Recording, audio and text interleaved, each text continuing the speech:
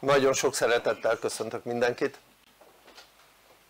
mennyire vagy elégedett a jelenlegi világ alakulásával, hogy a világ alakul?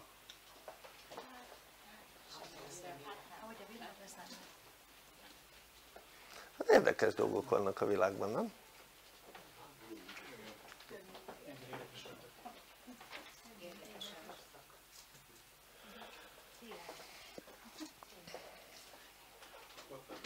Van itt egy háború nem messze tőlünk ugye egy szomszédországban. Még jó hogy elég nagy az az ország. És ráadásul hála Istennek a Kárpátokon túl vannak a csatározások nem a Kárpátokon innen hát lényeg az hogy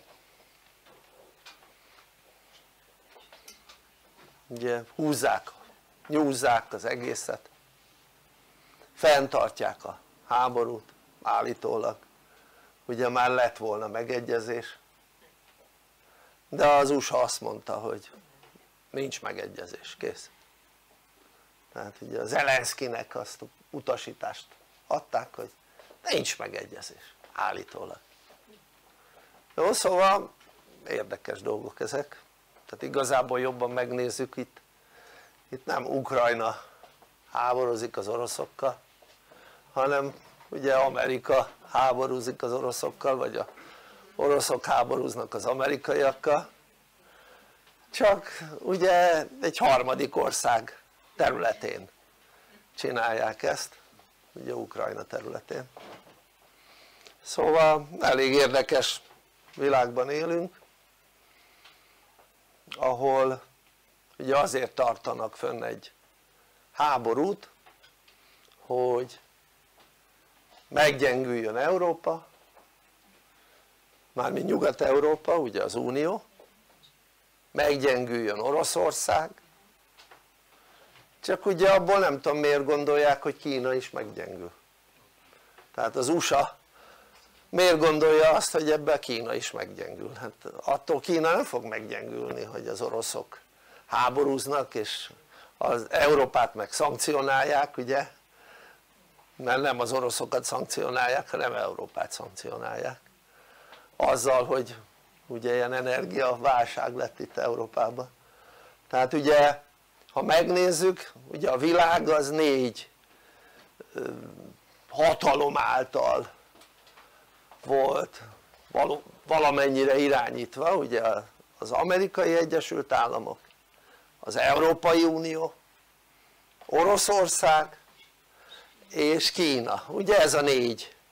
Mondhatjuk azt hogy nagy hatalom. És ugye tudjuk hogy Amerika onnan hogy szétesett Szovjetunió onnantól világhatalom volt. Tehát ő volt az egy.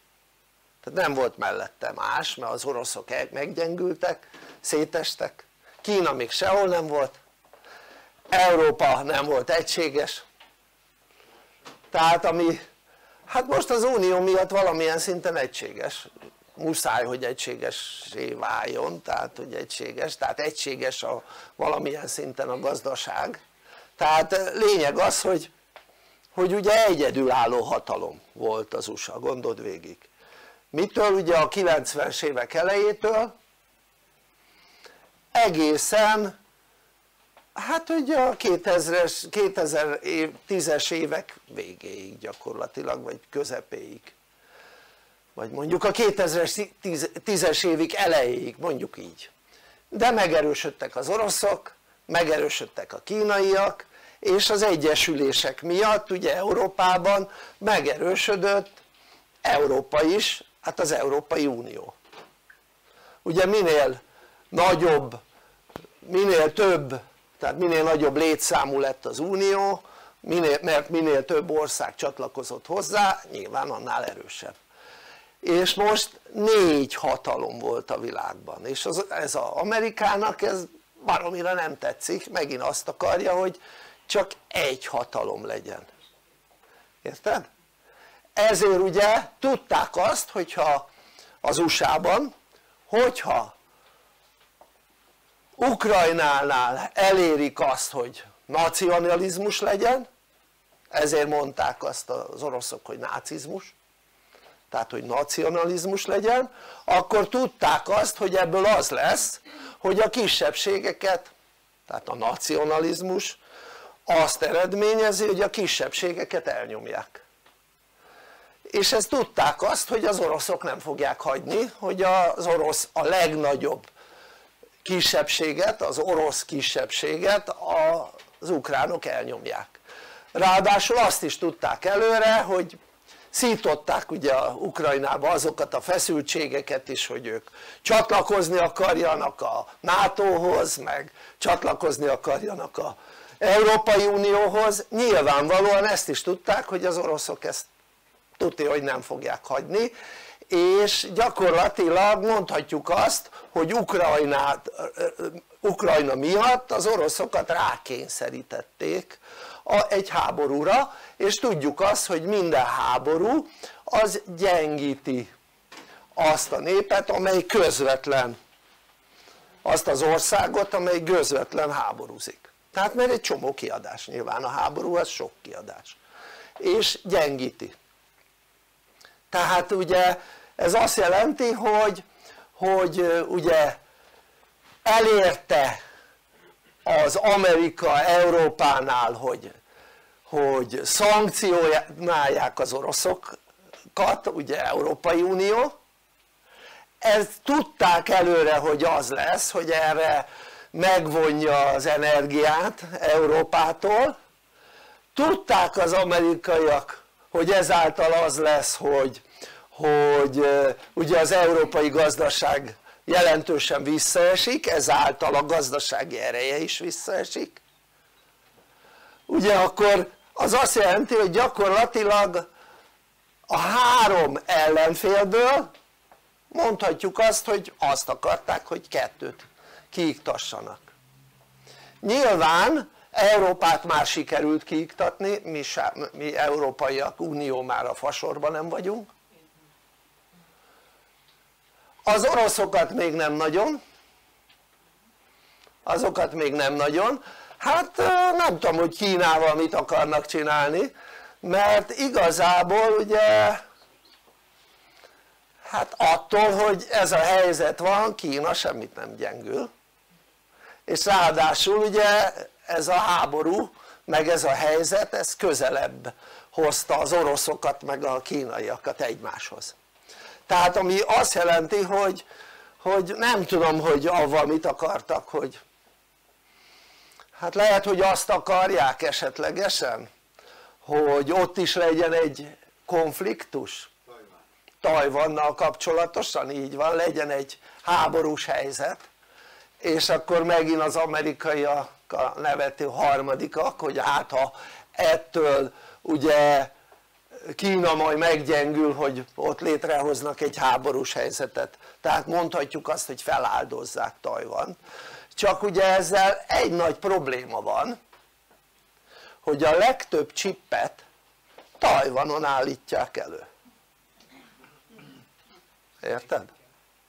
és ami azt jelenti hogy, hogy ott kialakul egy háború akkor gyakorlatilag leáll a csipgyártás tehát nyilván más országok is gyártanak csippet például az USA is de, de az egyik sőt a legjelentősebb exportőr az Tajvan a chipgyártásban és abban a pillanatban a chip, csippek megállnak és ha a csippek megállnak akkor a telefonokban csippek vannak autókban csippek vannak mosógépekben már csippek vannak érted? tehát ami azt jelenti hogy egy csomó dolgot nem tudnak legyártani, nem tudnak működtetni mert, mert nem lesz bele chip érted? tehát valószínű hogy valami ilyen kalkuláció is van és valószínű ugye az, az amerikaiak azt fog, akarják csinálni csak mondom hogy előre milyen forgatókönyvek várhatóak jó?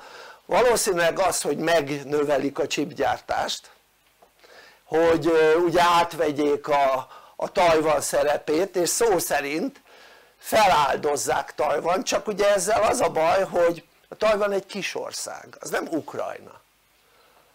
A kínaiak azt hét alatt elrendezik őket akár mekkora katonasággal rendelkeznek. Tehát gyakorlatilag ez egy kis sziget az egész.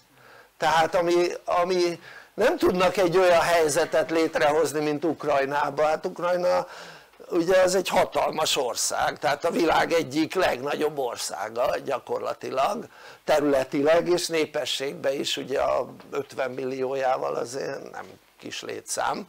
Szóval lényeg az hogy hogy ugye egy más helyzet ugye Tajvan tehát most csak azért mondom hogy még ilyenek várhatók és hogy átlássátok hogy miért van ez az egész. Azért hogy az Amerika ö, akár gyengül a többiek erősödtek és még akkor is ha Amerika gyengül akkor is a legerősebb tudja maradni. Nem tudom világos-e?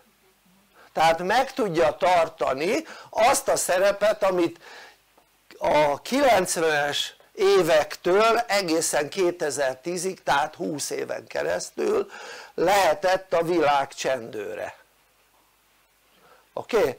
és, és a múltkor is csendőrködni akart Irán fölött aztán nem jött össze nekik mert az oroszok nem hagyták, addigra megerősödtek annyira hogy bebizonyították hogy van olyan technikai fejlettségük már mint katonai szempontból mint a, a, az oroszoknak mert ugye nem tudom emlékeztek hogy ugye mit tudom én melyik tengeren fölvonult a, az amerikai flotta aztán csak kiküldtek egy miget és megbénította az amerikai flottának a, a teljes technikáját, földközi tengeren igen, a teljes technikáját és erre fogták az amerikaiak azt visszavonultak azt Iránnal szemben nem csináltak semmit mert meg akarták ugye támadni Iránt.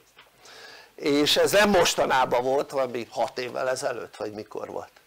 Tehát ami azt jelenti hogy már az oroszok arra a szintre jutottak és egyébként a kínaiak is ugye arra a szintre jutottak ugye hadászatilag mint az amerikaiak.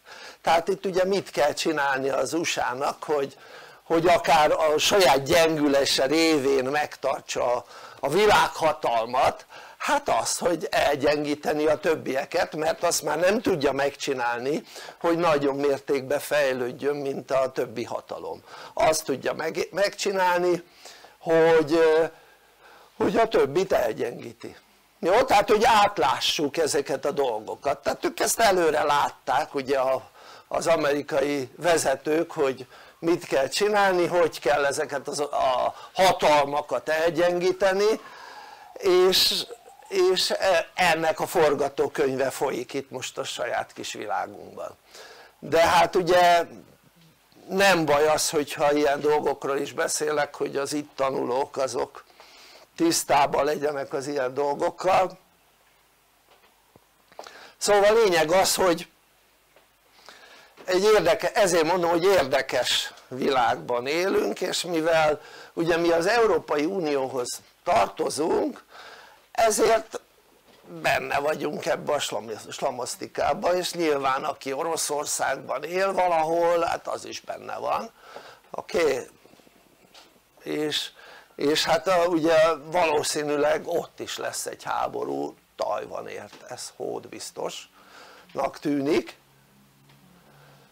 és hát majd meglássuk mik, mik, mik lesznek ezekből a dolgokból.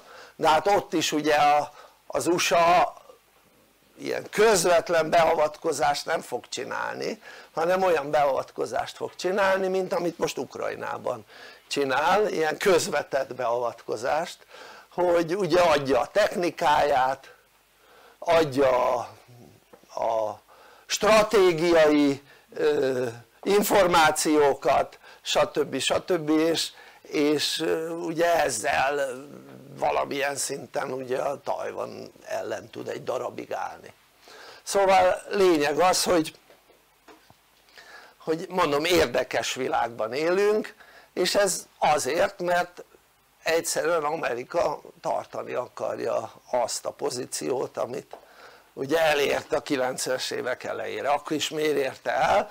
mert gazdaságilag egyszerűen Oroszország, illetve Szovjetuniót tönkretette.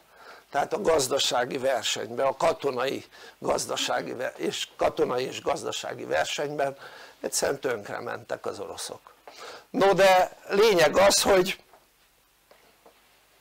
hogy ugye itt másról nem szól a történet tehát hogyha valaki olyan híreket ö, olvas vagy hall hogy itt mit tudom én harmadik világháborút készítik elő meg ilyen baromságokat érted? Azért az felejtős ez a dolog. Itt nem erről szól a történet itt arról szól a történet hogy az Amerikai Egyesült Államok visszaszerezze, visszaszerezze az egyeduralkodást. Tehát 20 évig egyeduralkodó volt és ugye 2010 óta már nem egyedül uralkodó jó?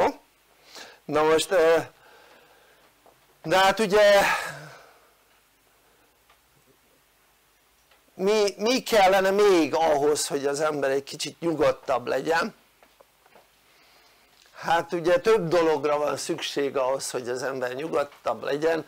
Kell egy, kellenek információk ugye ez egy információ amit most elmondtam tehát semmilyen valószínűsége jelenleg annak nincs hogy, hogy az a háború az kiterjedjen jó? tehát senki nem törekszik arra hogy kiterjedjen ha Kína és Tajvan között lesz egy háború az sem fog kiterjedni jó? tehát az a USA az csak kardot csörget de közvetlenül nem fog beavatkozni mert nem érdeke tehát azért gondoljátok végig mit tudom én Kínának van olyan tenger alatt járója amely szuperszónikus sebességgel tud a tenger alatt közlekedni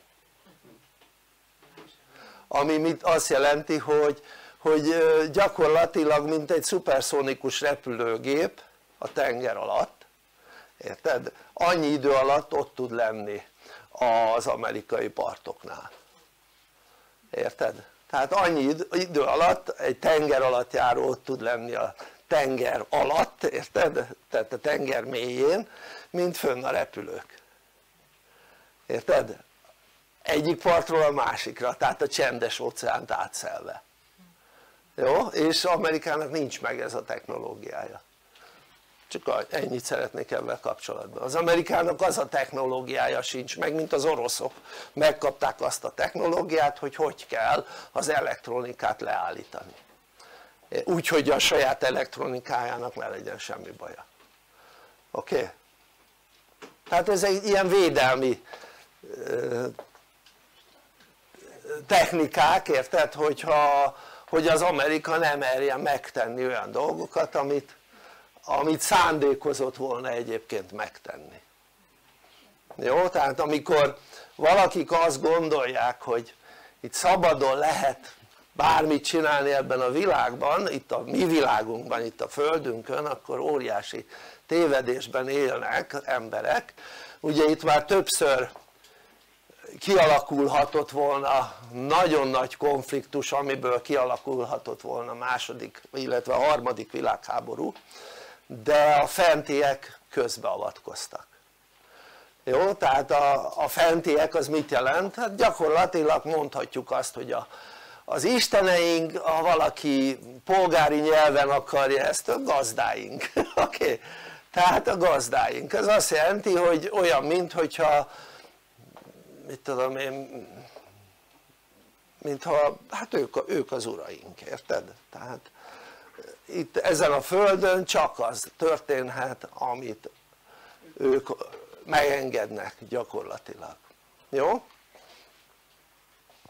tehát ezáltal ugye jelenleg nincs ilyen cél hogy ezt a bolygót el kellene jelenleg pusztítani, jó? tehát egyelőre nincs ilyen cél és nem az emberekre hagyják a, a bolygó elpusztítását, jó? maradjunk ennyibe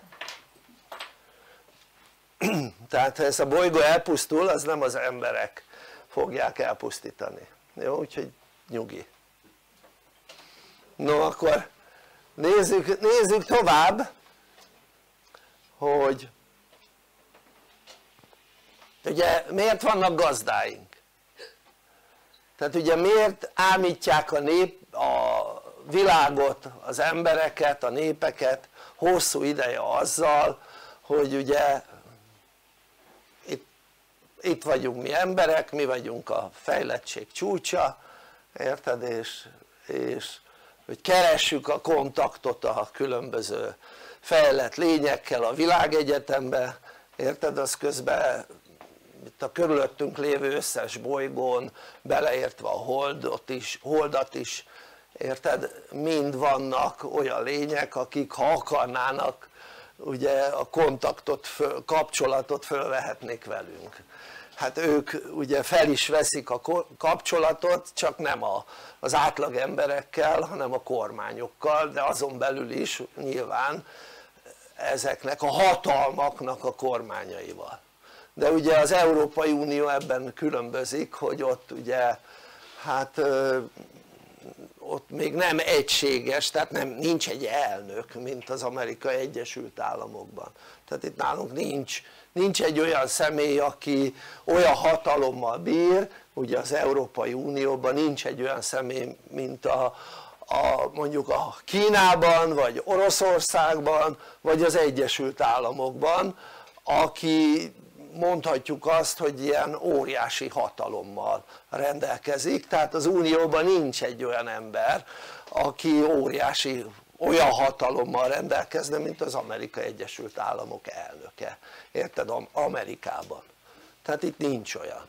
És ezáltal ugye itt nem vették föl úgy a kapcsolatot az Európai Unióval mint például az Amerikai Egyesült Államokkal vagy Kínával vagy vagy az oroszokkal tehát ugye a Putyin csapatával. Szóval a lényeg az hogy itt vagyunk mi a, a Földön az Európai Unióban. Ez jó is, nem is. De ugye akkor jó ha, ha úgy nézzük hogy, hogy ebben mi a jó. Akkor rossz ha azt nézzük hogy ebben mi a rossz. Jó tehát itt, itt már nagyon érdekes cikkeket lehet olvasni arról hogyha gazdasági cikkeket szeretsz olvasni és nem esetlegesen ilyen hogy is szokták mondani?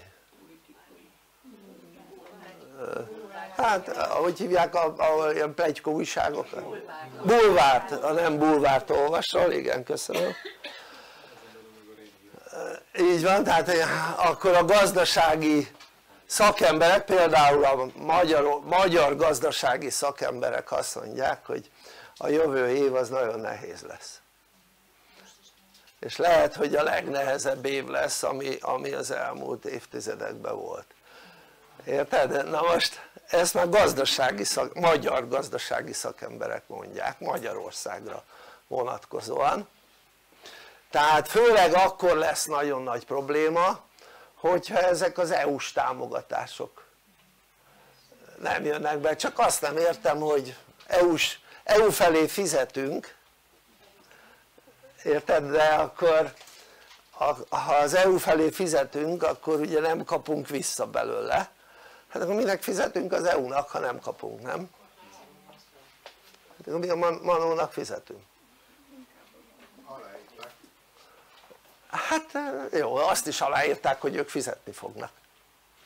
Érted? hát az is alá lett írva hogy, hogy kifizetik nekik a, nekünk a pénzeket. Na mindegy nem is ez a lényeg hanem az a lényeg hogy emiatt már az is már ezeknek a pénzeknek ugye meg kellett volna jönni és ez ilyen 3000 akárhány száz milliárd forint azért az ugye nem olyan kevés.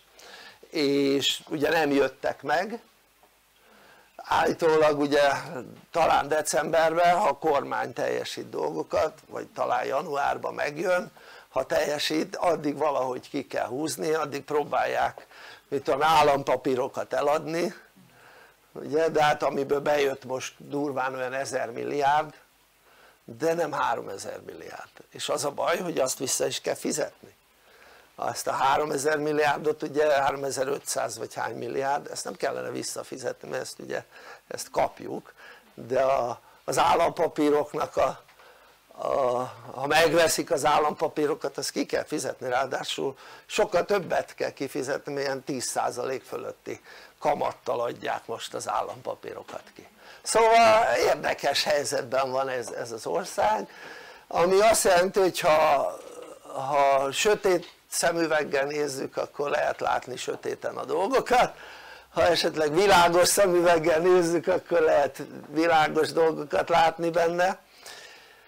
Ami azt jelenti hogy én mindig azt mondom hogy minden rosszban van valami jó. Így van, tehát ahogy a, a Covid az nekünk jól jött szó szerint nekünk mint szervezet jól jött ez a gazdasági helyzet is jól jött tehát amikor mi pénzügyi területtel foglalkoztunk a múltkor, múltban nekünk ha nehézségek voltak a gazdasági szférában az nekünk jó volt. És ugye most nem gazdasági dolgokkal foglalkozunk, nem pénzügyi dolgokkal foglalkozunk hanem egy egész más területtel.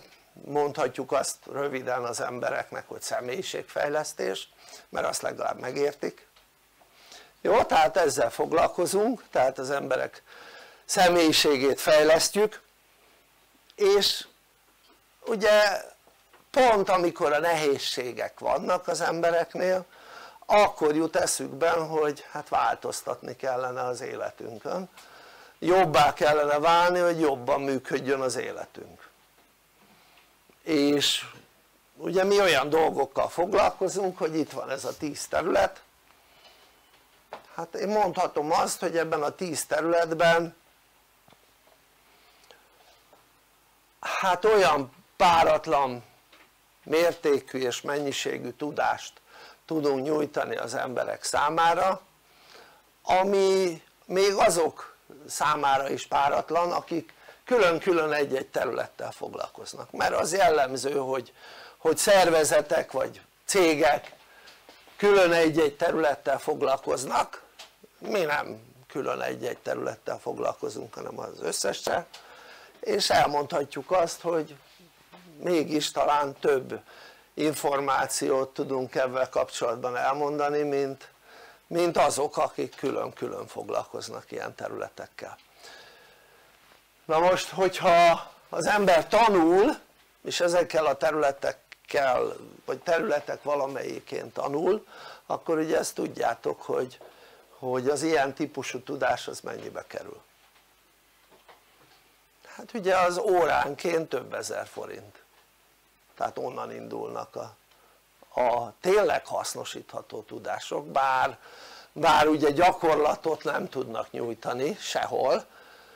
Max elméletet és módszert tehát módszert de az emberek többsége gyakorlatban nem tudja kipróbálni azt a módszert miért? mert hiányzik az a lehetőség ahol magát a, a módszert használja, az a terep, az a terület hiányzik ahol használja ugye mi nem csak módszert adunk az embereknek hanem hogy bárki kipróbálja adunk területet ez gyakorlatilag mondhatjuk az a fajta szakma jó amit itt láttok hogy coach képzéseink, coach szakma, a coach azt jelenti hogy edző ugye coachingolni lehet embereket és ha az ember képes arra hogy coachingoljon embereket ezen a területen akkor gyakorlatilag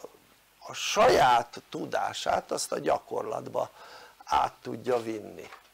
Tehát ugye semmilyen más területen én nem hallottam olyat hogy, hogy az emberek azt amit tanulnak ahhoz kaphatnak alanyokat ahol használhatják, érted? ahol használhatják a tudást. Tehát most mondok példát. Mit tudom én mondjuk tanulsz olyan dolgokat hogy pároddal kapcsolatos bánásmód hogy jobban bánjál a pároddal. Tudti hogy utána olyan emberekkel fogsz itt közvetlen kapcsolatba kerülni. Ha te megoldottad már ezt mondjuk ezt a párkapcsolati kérdést valamilyen szinten akkor tudja hogy olyan emberekkel fogsz találkozni itt kapcsolatba kerülni akiknek viszont ez nincs megoldva és tőled igényelnék a tudást. Tehát hogy gyakorlatban azt amit használtál amit alkalmaztál azt hasznosítsd. Ha például mikor tanulsz és ugye az a legnagyobb akadály hogy az ember elakad. Tehát amikor tanulsz egy módszert és az a legnagyobb probléma a módszer alkalmazásánál hogy az emberek elakadnak valamilyen oknál fogva a módszer használatában. Tehát én ezt mindig tapasztaltam hogy ez a legnagyobb probléma. Tehát ezért mennek tönkre a vállalkozások tehát ezért van az hogy belekezd valaki egy vállalkozásba és a vállalkozások több mint 90%-a az első három évben tönkre megy mert egyszerűen van egy, egy motivációjuk, van egy módszerük és a módszerben elakadnak. Tehát mit tudom hiába tanultak dolgokat, hiába akár gyakoroltak dolgokat életükben, elakadnak és nem tudnak tovább lépni, érted?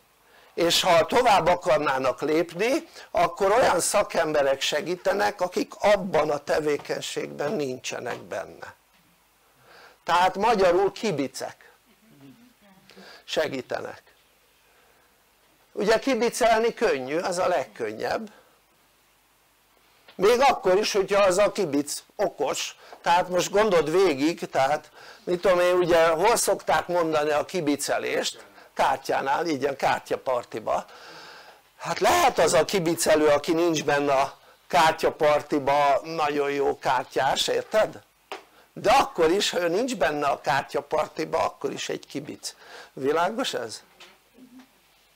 Tehát az nem feltétlenül azt jelenti hogy ha valaki kibicel hogy az buta érted? ez nem ezt jelenti lehet ő profi és tudná is ugye mondani de akkor is ő nincs benne tehát ami azt jelenti hogy mivel nincs benne ezért, ezért nem játékos érted? ő nem játékos tehát neki egész más az érdeke mint aki benne van, világos ez?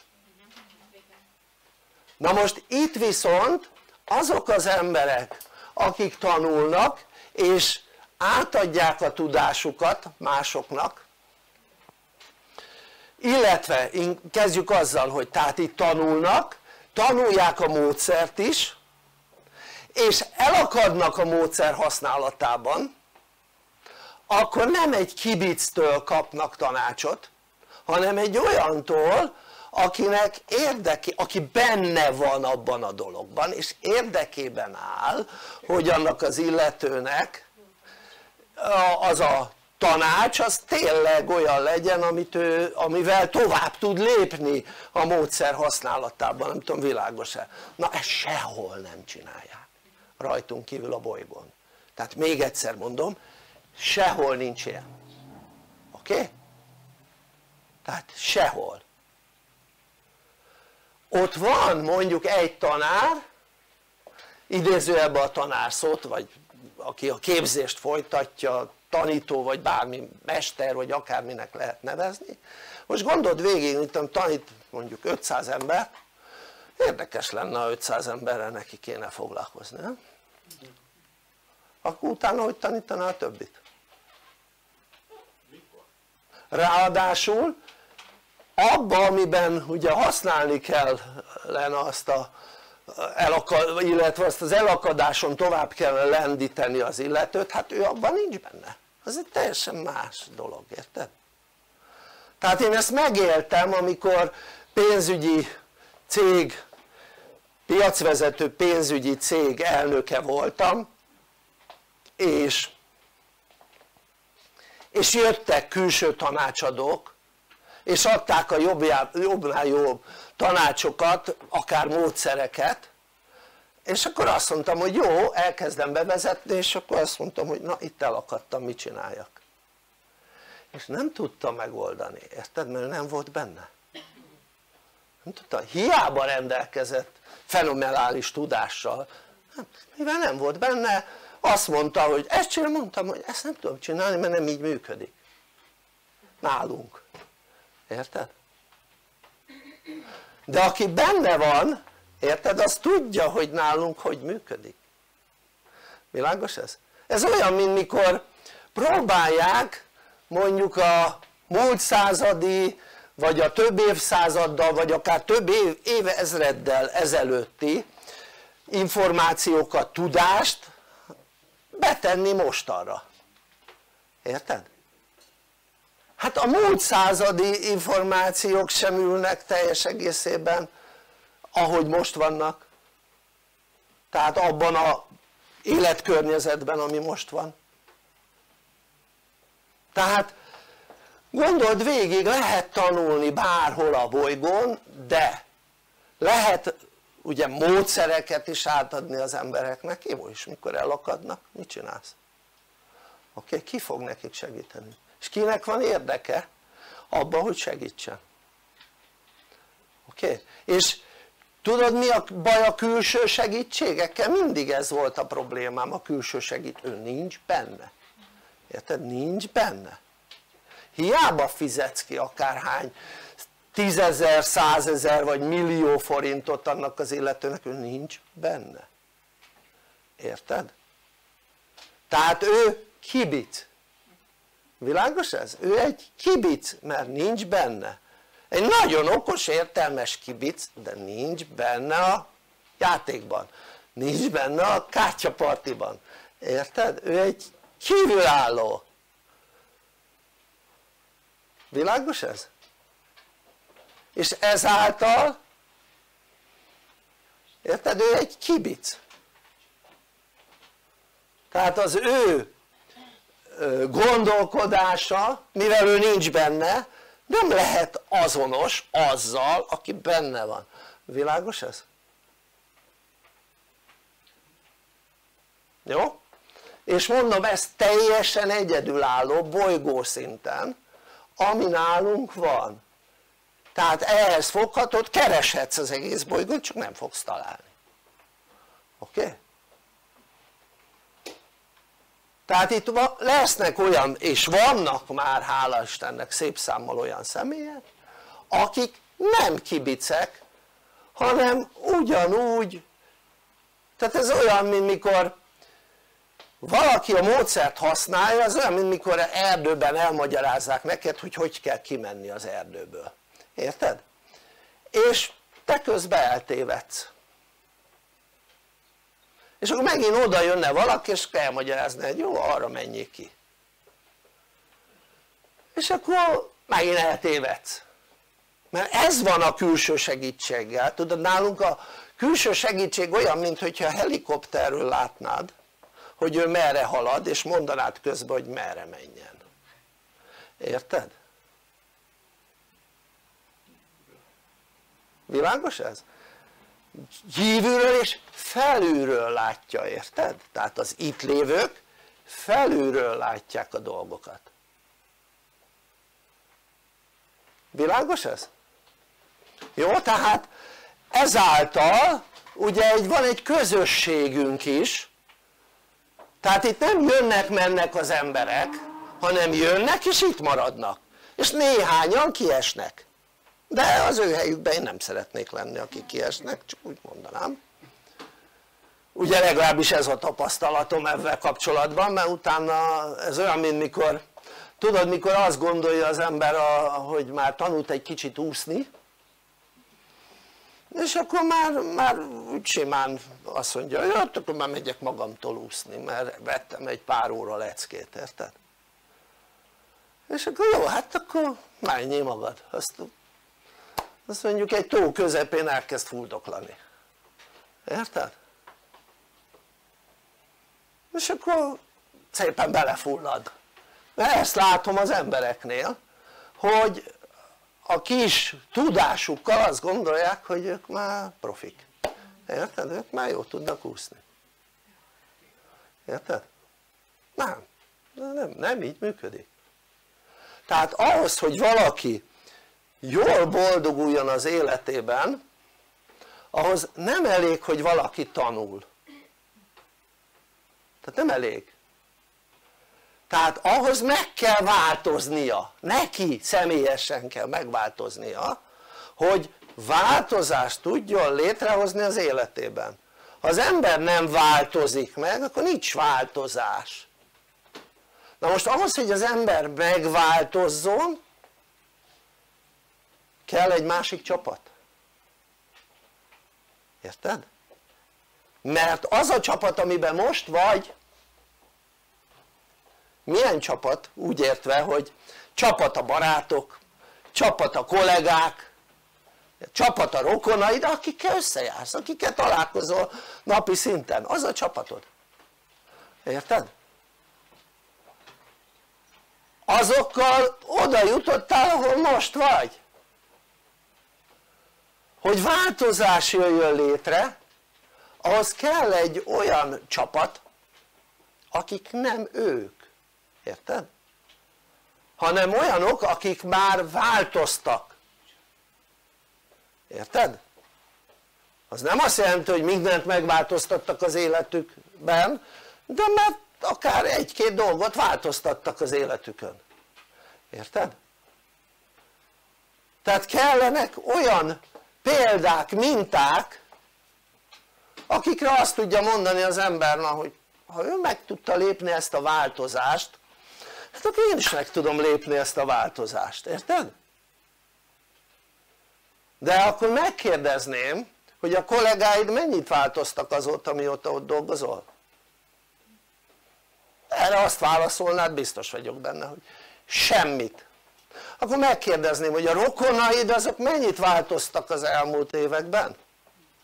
jó irányba természetesen, rossz irányba lehet mondani hogy változtak mert rosszabb hangulatuk van itt a Covid mizéria meg a gazdasági helyzet stb. miatt, érted? de jó irányba mennyit változtak? azt mondanád hogy semmit ugyanez barátaid mennyit változtak az elmúlt évek során? Hm? semmit jó irányba természetesen megint csak semmit semmit akkor te miért változnál meg? madarat tolláról, ember barátjáról lehet megismerni te olyan vagy mint a barátaid ennyi oké? Okay? én a volt barátaimat már rég feladtam érted? rég feladtam hiába régebben ennyire szerettem a barátaimat én nem ragaszkodtam hozzájuk rájöttem hogy visszahúzva erők, érted? ugyanúgy feladtam a kollégáimat is rájöttem hogy nekem nincs szükségem kollégákra, érted? nincs de nekem nincsen kollégáim az utolsó kollégám az mikor volt vagy 10 éve? Körülbelül vagy 12 valahogy így azóta nincs kollégám de úgy hogy alkalmazottam volt, érted? nincs tehát gondold, gondold végig hogy hogy akarsz változtatni ha nincs változás az életedben hm? hogy akarsz többet keresni például ha ugyanazt csinálod mint eddig hogy? jó kérdés nem? hogy akarsz pároddal jobban bánni hogyha ugyanúgy bánsz a pároddal mint eddig hm? stb. stb. és akkor nézzük meg hogy ugye ahhoz hogy személyiségfejlesztés mégis miben másabb a mi személyiségfejlesztésünk mint, mint úgy általában szokott lenni a személyiségfejlesztés? Hát én már életemben nagyon sok személyiségfejlesztéssel részt vettem személyesen. Sőt személyiségfejlesztő könyvet is rengeteget elolvastam. És egy dolog mindből hiányzott. Hogy megismerjem részletesen hogy miből is állok én mint ember. Ez hiányzott. Tehát az hogy mi emberek miből állunk és ezáltal hogyan működünk ez hiányzott. Tehát az hiányzott hogy van egy elménk. Semmilyen személyiségfejlesztésben arra hogy elmen semmit nem hallottam érted? és hogy az elménk hogyan működik? Semmit a személyiségfejlesztésben az hogy lélek semmit. Érted? semmi ilyesmi nincs. Tehát van az hogy test, itt van a testünk, tanulja meg a testünk ezt, azt, amaz, ilyenné, olyanná, amolyanná váljunk. És mint ez a másik két dolog ami nagy mértékben befolyásolja a testünket mintha nem is lenne és akkor egyik dolog sem misztikus itt van az elménk egy olyan valami érted? ami, ami miatt tudunk gondolkodni és ami miatt tudunk ösztönösek lenni és senki a személyiségfejlesztésnél nem tanított nekem arról, arról hogy milyen bajt okoz az a pillanat amikor az ember ösztönösen cselekszik. Amikor lemondunk a tudatunkról és átadjuk az irányítást az ösztönünknek senki nem beszélt erről, nem is olvastam ilyen dolgokról a személyiségfejlesztések során és ennél van egy még fontosabb dolog hogy van egy lelkünk, érted? amely egy felsőbbrendű lény és akkor az emberről meg azt tanítják, érted? a Bibliában hogy születésénél fogva az ember egy rossz, egy gonosz, érted?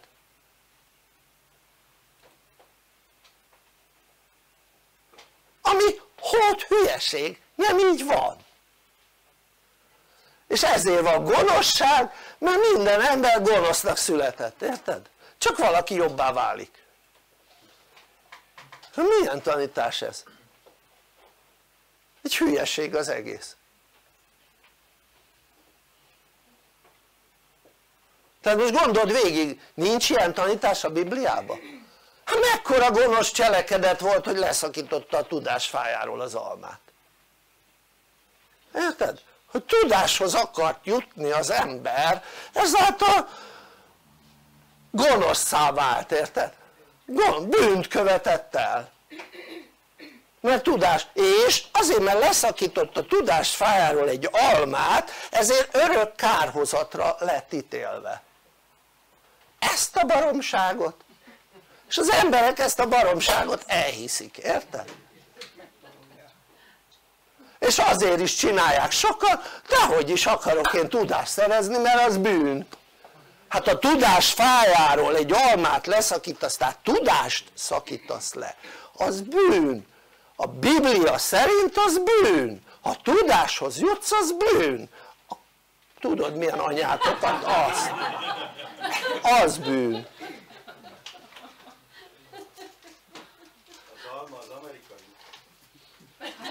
Gondol, gondold végig. És akkor ugye arra ítélte. Az a az jó Isten? hát ez egy gonosz Isten ítélte arra örök kárhozatra hogy innentől kezdve inkarnálódnak kell nem vagy örök életű sőt szenvedned kell mint ember és ez van benne a Bibliában érted?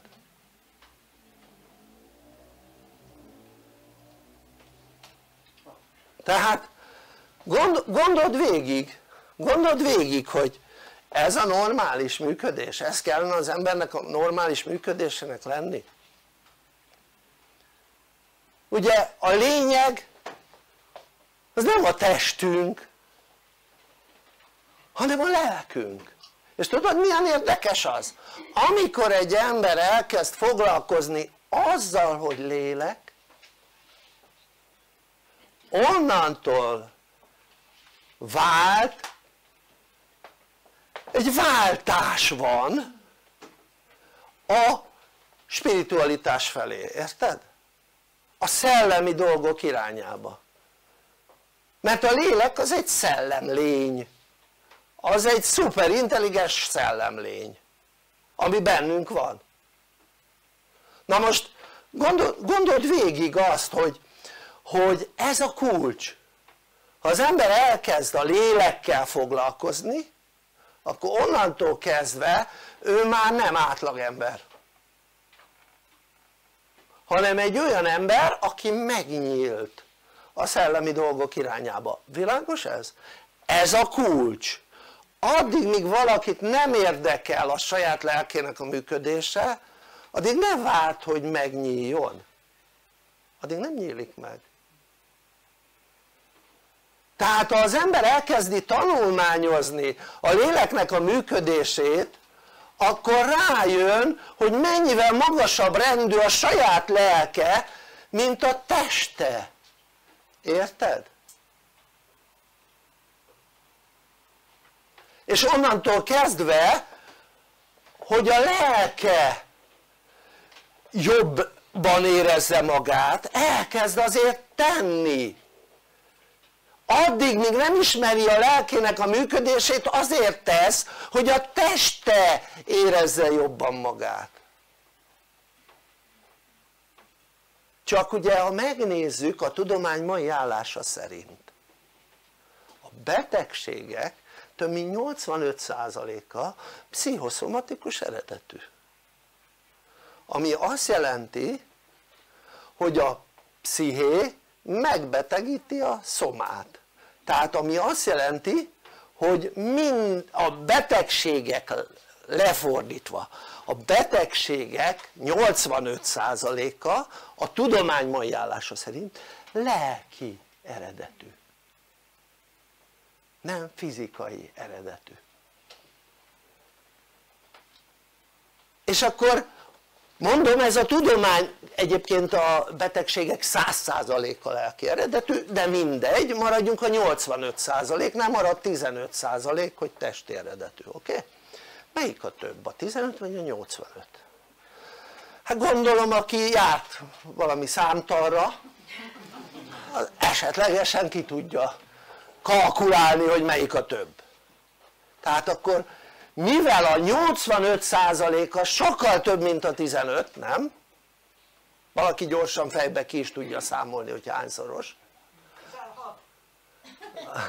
oké? Okay? az azt jelenti hogy gondold végig hogy akkor melyik a fontosabb? melyik a fontosabb? tehát melyik a fontosabb hogy jól érezze magát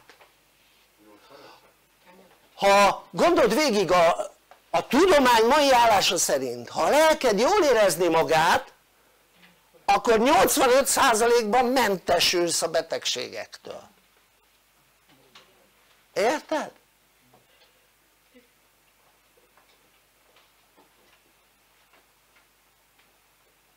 na most de az emberek mégis a testükkel foglalkoznak. Hát mint, mintha ez egy elmebetegség lenne szó szerint. Hát gondold végig. Azzal foglalkozom ami kevésbé fontos. Erre ezt tudom mondani. És akkor csodálkoznak az emberek hogy az életük nem úgy alakul ahogy kellene hát ha elkezdenének elkezdenék tanulmányozni a lélek működését. Miért azzal hogy a lélek hogyan működik nagyon sokat foglalkozunk. Szinte minden képzés, sőt minden képzésben beszélek erről. Tehát nincs olyan képzés típus amikor ne beszélnék a léleknek a működéséről tehát ha valaki elkezd csak utána nézni a lélek működésének ha nem is itt, bárhol az interneten keresztül akkor elkezd némi nemű fogalma lenni hogy egy sokkal de sokkal fontosabb dologról van szó mint amit úgy hívnak hogy test.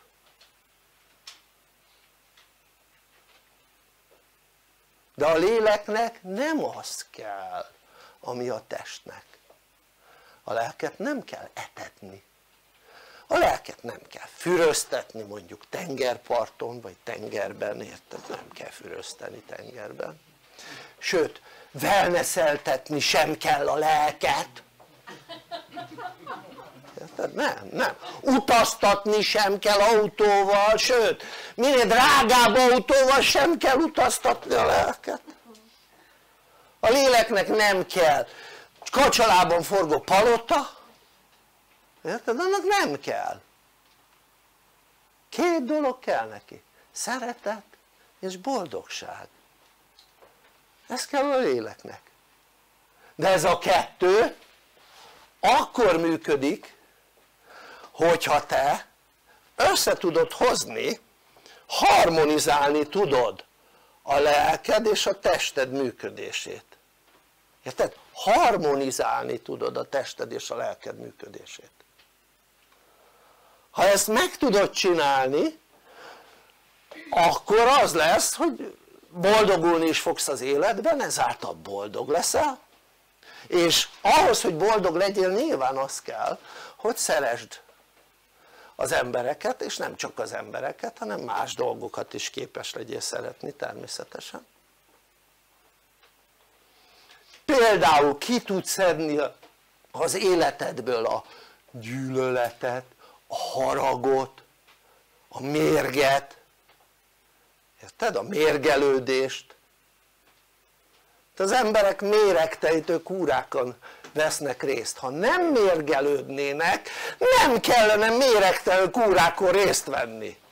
Nem kellene azért pénzt kiadni hogy méregtejtő kúrákon vegyenek részt ha nem mérgelődnének. Világos ez? tehát ha az ember megismerni hogy hogy működik a lelke és ez hogyan kapcsolódik a testünkhez mert ugye az ösztönünk valamilyen szinten a testünkhöz kapcsolódik. Ugye az a reaktív elménk és ha az ember összehozza harmonizálja a test és a lélek működését tudás nélkül ezt nem lehet. Lehetetlen. Akkor az ember egész más minőségű életet tud élni. És a minőségi élet az nem egyből áll. Nem a pénzből áll csak a minőségű élet ennek a hét, tíznek akarom mondani a harmóniájából áll. Érted? az együttműködéséből áll. Hogy ezen a tíz területen az ember jól boldoguljon. Bármilyen területen. Mert a léleknek az is számít hogy ezeken a területeken hogy boldogulsz a maga a lelked az hova tartozik ezek közül? a tíz területből hova tartozik a lelked? így van a tizedik érted? az egy isteni dolog ami benned van érted? maga a lélek az egy isteni teremtmény amit közvetlenül az Isten teremtett közvetlen formába a testedet hol teremtette az Isten közvetlen formába? hagyjuk már akkor melyik a fontosabb? egy olyan amit köze nincs az Istenhez a, te, a testednek vagy egy olyan dolog amit közvetlenül az Isten teremtett hm, melyik a fontosabb? hát döntsük már el foglalkozni kellene azzal hogy hogyan működünk lélekként hát persze hogy kellene. És akkor elkezded másként látni a világot ha ezzel elkezdesz foglalkozni, érted? nem úgy ahogy eddig. A testeden keresztül próbáltad nézni a világot. Mikor egy van egy sokkal de sokkal fontosabb dolog amit léleknek hívnak ami ide tartozik a tested az egy egyszerű anyag. Ami mulandó, minden anyag mulandó a világegyetemben, minden, nincs kivétel az arany. De a tested nem aranyból van. Oké? Okay? az arany az nem mulandó. Tényleg. Az az egyetlen anyag ami nem mulandó. Ezért nem lehet meghatározni a korát sem. No úgyhogy ennyi fért bele itt az első részbe. Visszaadom a szót a házigazdáinknak szeretlek benneteket sziasztok